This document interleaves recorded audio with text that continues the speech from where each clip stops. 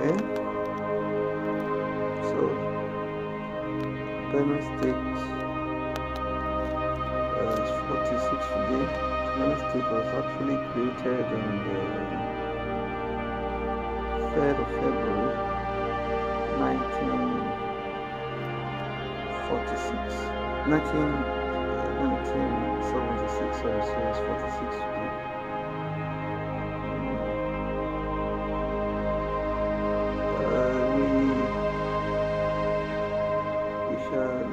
The history of creation briefly. But what we shall do, we actually be looking at it through the eyes of one man, the eyes of uh, the, the man who envisioned it and uh, brought it to fruition. Was, was a very important political figure in the country at the time. I'm talking of uh, Joseph Chief. I'm talking of Doctor Chief Joseph Samuel Tarka. Uh, after so many years, uh, actually in his honor, the military regime deemed it fit to name a local government in Benue State after him. I think the honor was well deserved for who he was and what he did. Now, J.S. Tarka was born in 1932, died on the 30th of March 1980. That was um, 30th of March, just four days. He was born four days after his death. But there is something significant about J.S. Tarka shortly before his death. He wrote letters uh, the letters that you could see today are prominently the letters he wrote to the National Assembly, Senate particular, the letters he wrote to his party elders in Benue State. He mentioned some of them, Guyo, Takeman, that uh, were his closest allies. Then he wrote to the secretary of the NPN then, Thomas Degar, wrote letters to him, and there's a couple of letters. But the letter that is of note to me and to us on this day was the letter he wrote to what he said in TV. He said, Hey, Ichoya Tichi. Then in bracket, he said, Ute Ngo Ahurayo Mambai. That was the letter. That is the letter that is of note to us today. Said, Hey, Ichoya. This, most of the letters were written on the you know, 17th, 14th, 17th of March. That was uh, some few days to uh, about 10, 10 to 12, 10 there about days to before his death. Uh, this letter is in Tibet. I think I'll, I'll, read the translated version so that it will have a wider reach. But the opening of the letter was, Hey Itoyan Tichi. That means the, the, the, letter was so specific, it was writing to the people. He actually uh, spoke about his sentiments, but he said two things that are of note to us today. And then I read the letter now in English. To my fellow Tiv people, fathers, mothers, friends, and brothers, I am happy to report to you that I successfully completed the work that God gave me the opportunity to do. And so this is my last word to you. Every Tiv man should take these words seriously and keep them. My first task in my political career was to ensure the creation of states so that every part of this country would benefit.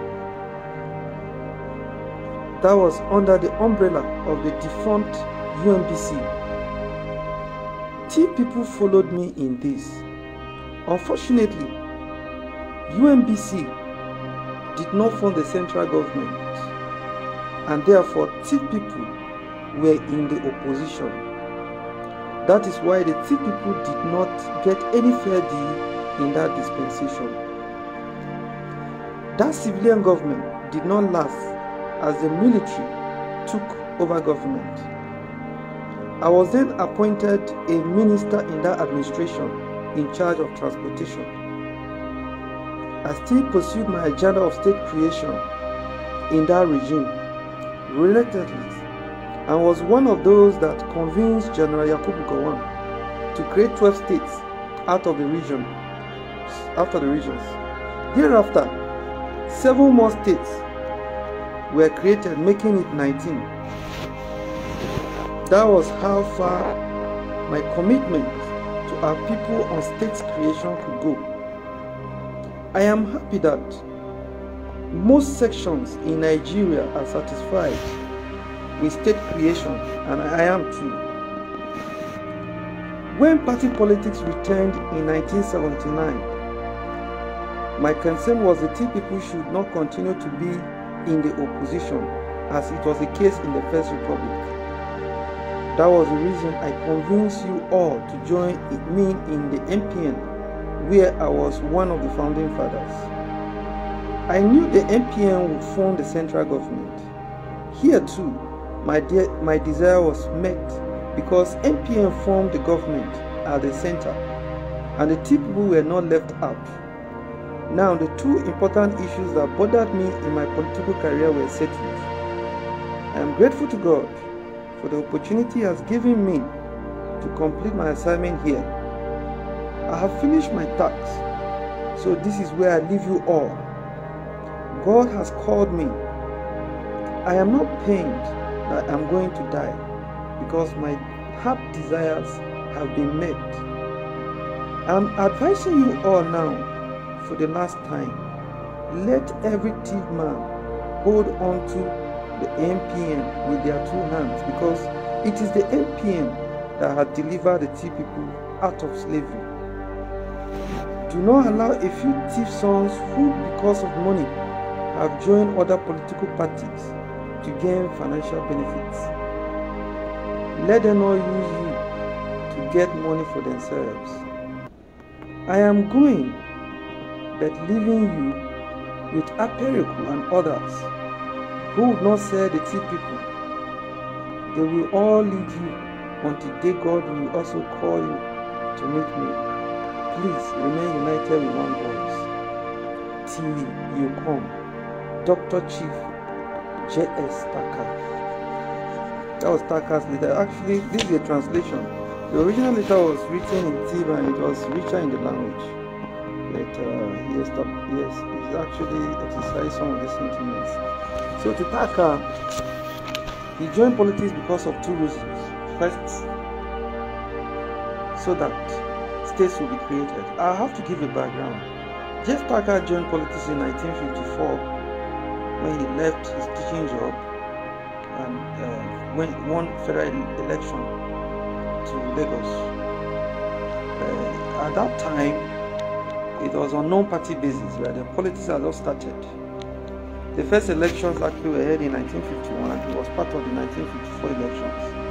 By 1957, the UMBC was formed, but at that point he had had parliamentary experience. And then, luckily for him, he emerged as the chairman of the UMBC that had elements like most of those who are non-Muslims in the north. Those were the elements that formed the United Middle Belt Congress. It was actually a, a party that was formed to challenge what they thought the Hausa Fulanis and other Muslims were doing in the big northern region that was created in 1953 by the white people. But he attended the Willink Commission of 1958. That was where most of the minorities in Nigeria gathered to to to actually establish their grievances.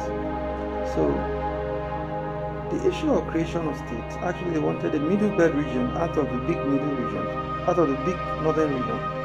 They didn't have that. Then, when the first region was created, apart from the three big ones, it was the mid region, the mid western region, which was created out of the western region and part of the eastern region. What today you have mostly the south south. But when the first coup took place in 1960, truncating the First Republic, luckily for him, J.S. Tarka became part of that regime, the Yakubu Gowon, Yakubu Gowon's regime, not the Abu Ironsi that just lasted for some time. So, in the letter, if, if you were listening, he said he persuaded Gowon to create 12 states so in 1967, now the first states, the first 12 states were created. Benue Plateau was created. That was not exactly what they wanted. They had wanted like a chief state, like some kind of a state where the people will have the majority say. So the yearnings continue until on this day for 46 years and uh, a state was created.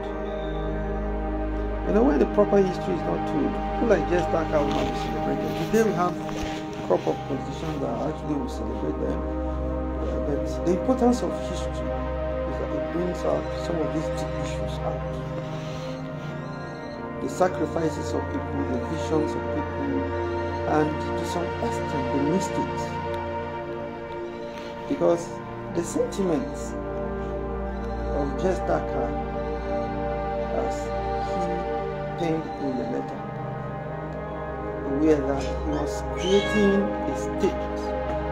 The state was going to be created for people, more or less. Because it's Tiv state. Because in the letter he almost said so. But in that state, you have the Jukuns, you have the Itilos, you have the Igedes, you have the Igalas. The, the Igalas were majority of the team. So you are beginning to see the same problem that was obtainable in the northern region, where the Hausa Fulani dominated activities going to happen again in a state where you have the Tiv as majority. And uh, it was true to it that in 1979, after two nine, after two nine, after two nine, after two nine, after two nine, after two nine, after two nine, after two